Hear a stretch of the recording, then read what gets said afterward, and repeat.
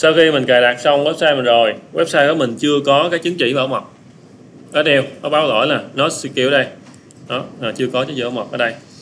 Bây giờ mình làm sao để website mình có chứng chỉ bảo mật ở đây? Thì mình phải uh, đăng ký cái chứng chỉ bảo mật. Một á, là mình mua. Mua. Mua thì nó có bản giá mua ở đây mua chứng chỉ bảo mật ở đây. Mua. Mua một năm á, khoảng hai trăm rưỡi. Mua. Còn ở đây á, thì mình có cái chứng chỉ bảo mật phi chứng chỉ bảo mật miễn phí á, mình xài được 3 tháng. Còn chứng chỉ bảo mật mua á, mình xài mua một năm thì mình xài một năm. Nha cái bảo mật ở đây mình xài được 3 tháng. Đây nó sẽ có cho mình ở trong cái hosting của mình. Sau khi mình đăng nhập vô hosting đăng nhập bằng cái tài khoản password như video trước tôi hướng dẫn như cái bài trước hướng dẫn nha. Thì dưới đây có chỗ là SSL Certificate chính là đăng ký chứng chỉ bảo mật miễn phí ở đây. À, ở đây.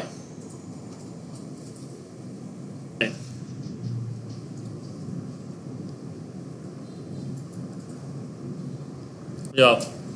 Rồi đây mình chọn vô ờ, cái nút ở giữa đây. Và chọn là phi automatic certificate. Ừ, à, free automatic certificate chứ vô đây.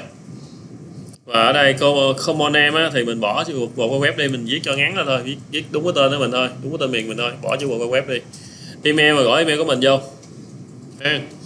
và dưới đây mình kéo xuống đây mình kiếm cái chỗ nào có chữ bộ web mình bỏ chọn không chọn bộ web em chỉ chọn đúng cái tên miền của mình thôi tên miền của mình là tên gì đó. À. còn cái bộ web đây mình không cần phải chọn. Ừ, bỏ chọn. Ở đây nhớ là check today free SSL và ở đây nhớ nhập là tên này bỏ một cái web luôn. Email này email đúng email của mình email thiệt là hoàng an đó rồi sau đó bấm xem rồi sau khi mình à, đăng ký sau khi mình khai báo đầy đủ thông tin xong á thì mình bấm nút sale nè. Sale thì hệ thống sẽ tự động đăng ký cái chi tiết học cho mình luôn. Ha xíu. Sau khi mình làm xong có thể báo RA Certificate and Sale nghĩa là thành công. Nó báo thành công. Nếu nó báo là nó báo cannot nó báo gì đó là, là, là mình coi lại quay bắt là mình coi coi lại coi coi đúng hay chưa. Đó. Ha. Rồi đăng ký này cái khi được khi không tôi không biết hên xui ấy. cái gì đăng ký ờ, nếu không được nếu giả sử khi mà đăng ký không được cái này liên hệ chỗ nhà cung cấp có tin đó hỏi tôi sao tại sao tôi không đăng ký được cái miễn phí ở đây này. Lúc đó họ sẽ support cho mình ra cái lỗi họ hướng dẫn cho mình. Còn được. Ừ, cái này để tôi kiểm tra sau. Nè, sau khi đăng ký xong rồi thì mình vô domain setup nè. Mình vô là đúng cái tên miền của mình. Và sau đó mình chọn là view link private and public. Và và và cái chỗ này là security LZ BBZ hay security LZ nè. Chọn vô. Và dưới đây là chọn cái hàng thứ hai và sale sale ở hàng thứ hai luôn ha. Ừ. Đó. sale xong. Ha rồi. Đây, sale. Ở trên đây nếu mà chưa chọn cái đây thì cũng phải chọn sale lại luôn. Đó. chọn đây. Đó là xong. Sau khi mình làm xong cái này á thì mình uh, mới quay vô cái trang web của mình. Quay vô trang web của mình. Quay vô trang web của mình là cái trang này. Ừ, trang này. À, trang này mình đăng nhập vô trang quản trị nè. Wb gạch admin nè. Ừ. Ờ, đăng nhập trong quản trị.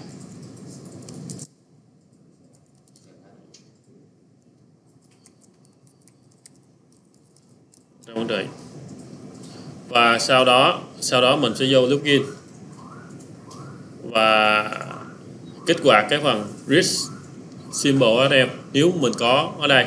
Nếu không có cài vô ha. Không có cài vô. Nếu, nếu sử này không có thì mình cài vô bằng cách là cài mới nè.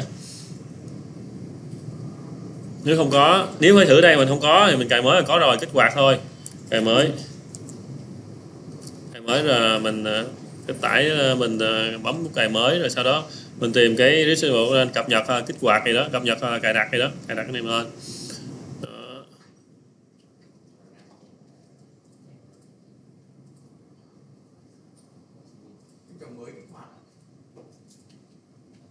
Rồi đã cập nhật. Đó, cập nhật xong rồi mình mới uh, quay lên quay lên chỗ là nút pin đã cài đặt nè. Quay lại nút pin đã cài đặt rồi sau đó mới tìm đến cho risk symbol ở đây kích hoạt. Còn không mình kích hoạt nếu mình có sẵn thì cứ kích hoạt là chờ được rồi. Kích hoạt là go hit ht ở SL kích hoạt xong go hit ht SL đó ở tiếp xong rồi F5 nó lại. F5 này lại mình sẽ thấy cái mình có ổ khóa này liền ha.